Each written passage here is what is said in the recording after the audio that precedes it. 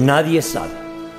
Nadie sabe cuántas gotitas de agua inmensamente puras, gotitas de amor y de cariño, nacieron de un inmaculado manantial, el cual con dulzura les brindó abrigo en una cálida casimba de oro, de perfume y de amor. Nadie sabe.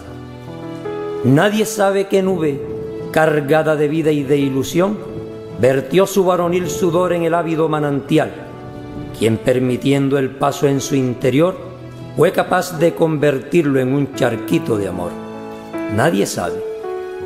Nadie sabe cuántos días y cuántas noches aquellas diminutas partículas de agua, protegidas, alimentadas y engreídas por el cálido manantial, rieron y juguetearon sin darse cuenta de la existencia de otros mundos y sin percatarse que aquella Casim, a pesar de su embriagante protección, resultaba insuficiente ante tanto crecimiento y algarabía. Nadie sabe. Nadie sabe por qué aquella felicidad, vivida en el interior de la mañadora Casimba, debía doblegarse ante el incesante paso del tiempo.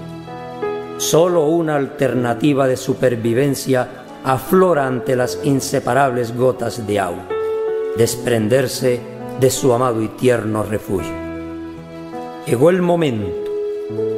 Aquellas gotitas, ya formando un gran volumen de agua, rompieron el esquema geométrico y comenzaron a descender desde el borde de la casimba. La caída era suave, suave, muy suave como aún no queriendo desprenderse de la felicidad y de la seguridad brindada por el incomparable manantial. Las gotitas, fuertemente unidas, iniciaron un viaje sin retorno. Se fueron alejando, alejando y alejando de aquel paraíso al que jamás olvidarían, pero al que deseaban volver para no abandonarlo jamás. Llegó el momento había que afrontar la realidad. Todo era distinto. La acogedora casimba fue reemplazada por un empinado cauce, el sosiego por la inquietud y la seguridad por la incertidumbre. Ya no estaban solas.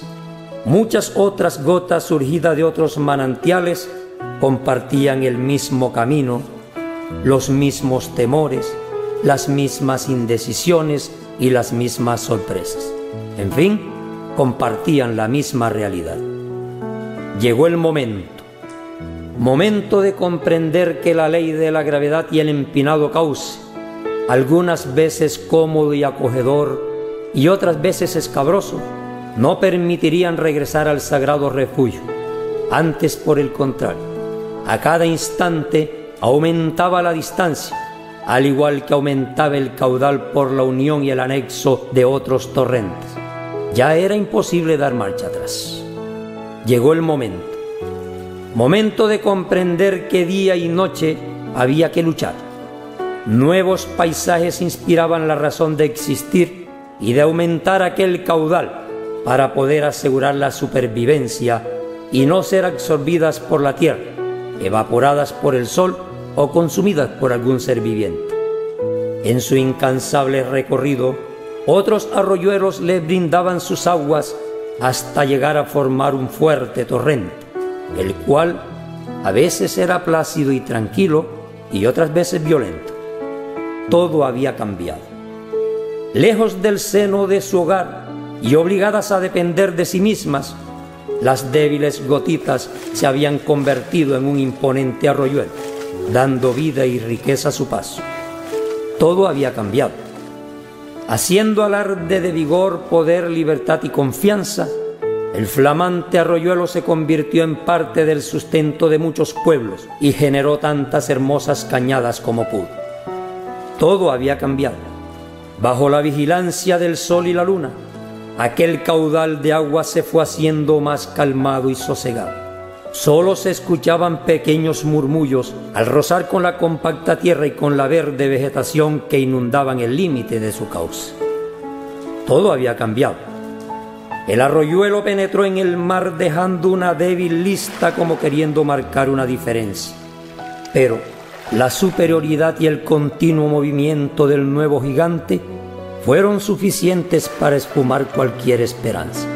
Esto, para el arroyuelo, fue su final.